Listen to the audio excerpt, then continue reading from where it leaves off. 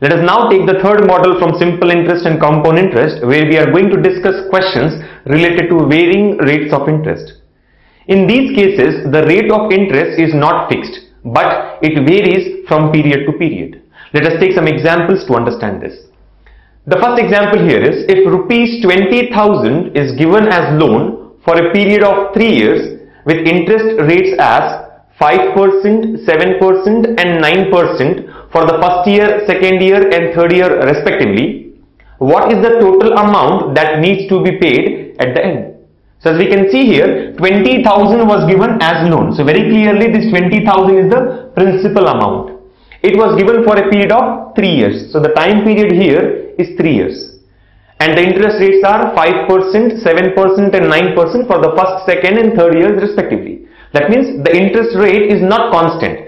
First year we need to pay 5%, second year 7% and for the third year 9%. And the question is what is the total amount? So we need to find out the total amount A that needs to be paid at the end. We know that total amount is nothing but the principal amount plus the interest amount. So principal is 20,000. We need to find out the interest here. Now going by the formula, the simple interest here can be calculated as P T1 R1 by 100 plus P T2 R2 by 100 plus P T3 R3 by 100. The point here is for different time periods, the rates of interest are changing. So for the first time period, interest R1, for the second time period, interest R2, and the third time period, the interest is R3. So by substituting the proper values, we get the required simple interest. And since the principal is constant for the whole period, we are taking it as P. So by taking P common, we can get the answer as T1 R1 by 100 plus T2 R2 by 100 plus T3 R3 by 100.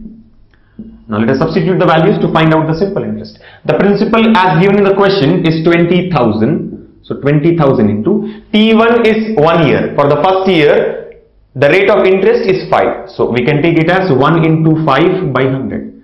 Then for the second year, only for second year, that means the time period is 1 year. That is the second period here. So for second year, the interest is 7%. So T2 will be 1, R2 would be 7 by 100 plus similarly for the third year the interest is 9%. So 1 into 9 by 100.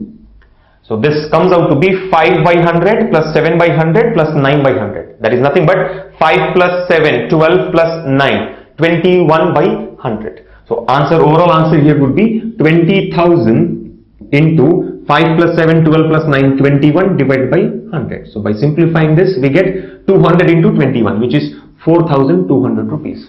So this is the total interest that needs to be paid at the end. But the question says, what is the total amount? Total amount as we know is nothing but principal plus interest. So the principal here is 20,000 plus the interest is 4,200. So we can say that the total amount A would be principal plus simple interest. That is 20,000 plus 4,200 which comes out to be 24,200 rupees. So the overall answer for this question would be Total amount is 24,200 that needs to be paid at the end. Now one very important point to be observed here is in the question nowhere it has been specified whether this is a simple interest case or a compound interest case but still we have taken it to be a simple interest case because as I've already mentioned when nothing has been specified in the question we always have to take it as simple interest case. So going by the thumb rule that is if nothing has been mentioned in the question we can always take it as simple interest case. So we find out the total interest and then total amount is principal plus interest.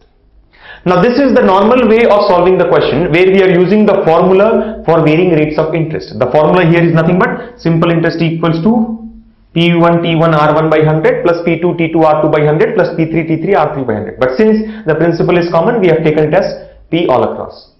Otherwise Going by the concept of percentages, the same question here can be solved in just one step as we have discussed in model number 1 and model number 2. The simple point to be understood here is, as this is a simple interest case, in the first year we get 5% as interest. In the second year we get 7% and in the third year we get 9% on the same principal amount. That means very clearly the total interest that we get would be 5 plus 7, 12 plus 9, 21%. And the question says, what is the total amount? We know that total amount is principal plus simple interest. So principal is 100% plus the interest that we get in 3 years would be 21%. That is equal to 121%. Total amount 121%. So this should be equal to what? As the question says, what is the total amount? And we know that the principal is 20,000. So very clearly the principal always should be taken as 100%. That is equal to 20,000. So the point here is 100% is equivalent to 20,000, 121% is equivalent to what? By cross multiplication, we get the total amount as 24,200. So as you can see here, instead of writing all the steps and going by the formula, we can simply understand what percentage equivalent has to be calculated from the given percentage equivalent. And cross multiplication will give the correct answer. So always try to use percentages for solving the questions from simple and compound interest so that we get the answer in just one or two steps. Let us now take an example on varying rates of interest for the case of compound interest. The question here is an amount of rupees 10,000 is taken as loan by Vivek at compound interest charging 5 PCP that is 5% per annum for first year, 10% per annum for second year and 20% per annum for the third year. What is the total interest to be paid by Vivek after 3 years? So as you can see here, this is a case of varying rates of interest where the interest for the first year is 5%, for the second year is 10% and for the third year is 20%. And the principal amount is 10,000 as an amount of 10,000 is taken as loan. So this is the loan amount that is the main amount or the principal amount. So the principal is 10,000. On this principal for the given rates of interest we need to find out what is the total interest to be paid by Vivek after 3 years. And very clearly, this is a case of compound interest as specified in the question. So we need to find out what will be the total CI at the end of 3 years that needs to be paid by Vivek. Now going by the formula for varying rates of interest, the amount, the total amount can be calculated as P into 1 plus R1 by 100 whole power T1 into 1 plus R2 by 100 whole power T2 into 1 plus R3 by 100 whole power T3 and so on. So this is how we can find out the total amount to be calculated for varying rates of interest. Since the principal is common, it is taken out. We have 1 plus R1 by 100 power T1, 1 plus R2 by 100 power T2, 1 plus R3 by 100 power T3. Where R1, R2 and R3 are the different rates of interest for different periods T1, T2 and T3. So with the help of this formula, we can find out the total amount at the end of the given period and from this amount when the principal is subtracted we can find out the compound interest. Why? Because we know that compound interest can be taken as amount minus principal since the total amount is nothing but compound interest plus principal. So first we need to find out the total amount and from that when we subtract the principal amount we get the required answer. So as for the given question, the values here are principal should be 10,000, T1, T2 and T3 are all equal to 1. Why? Because T1 is for first year, T2 is for second year, that is a period of one year again, and T3 is for third year, that is again a period of one year. And R1 is equal to 5, R2 equals to 10, and R3 equals to 20. So let us first find out the total amount that has to be paid at the end of 3 years with the help of the given formula. So we can say that the total amount here will be equal to the principal is 10,000 into 1 plus 5 by 100 into 1 plus 10 by 100 into 1 plus 20 by 100. That actually is power 1, power 1 and power 1 since T1, T2 and T3 are equal to 1. So this can be simplified as 10,000 into 105 by 100 since 100 is LCM, 100 plus 5 will give you 105, 105 by 100 into the second term here would be 100 plus 10 that is 110 by 100 and the third term would be 100 plus 20, 120 by 100.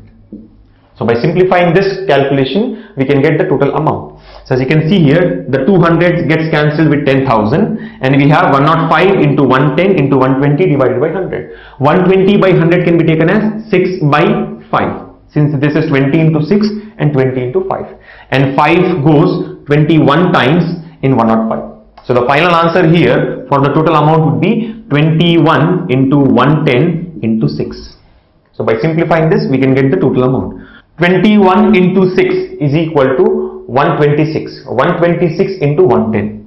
126 into 110. So by multiplying 126 with 110, we get the answer as 13,860. So we can say that the total amount that has to be paid at the end of 3 years is 13,860. But since the question says what is the total interest that has to be paid after 3 years, from this total amount we need to subtract the principal. The principal here is nothing but 10,000. So the total interest can be taken as, as I've already discussed, amount minus principal. So 13,860 minus the principal amount 10,000. This comes out to be 3,860 rupees. So the total interest after 3 years would be 3860 rupees. So this is how with the help of the formula for total amount we can first always calculate the total amount and from that we can subtract the principal to get the compound interest. If the question is what is the total amount that needs to be paid by Vivek at the end of 3 years we can stop here itself. But since it is about interest we need to go for the next step that is amount minus principal. But friends, going by this formula is a lengthy procedure. Why? Because we need to do the solution in a step-by-step -step manner and then from that we need to subtract the principal to get the required answer. Instead of this, we can again use the concept of percentages to find out the required answer. For example, here we know that in the first year the rate of interest is 5%, for the second year it is 10% and for the third year it is 20% per annum. Now as discussed in model 2, compound interest can always be calculated as net or effective percentage. That is A plus B plus AB by 100% where A is the rate of interest for first year and B is the rate of interest for second year. But in model number 2, A and B were equal since the rate of interest was fixed. But as in this case, the rate of interest is varying from year to year, A and B will be different from each other. So what we need to do here is find out the net or effective percentage for these three percentages and that will be equal to the compound interest in terms of percentage. So let us first calculate the net or effective percentage for 5 and 10 percent.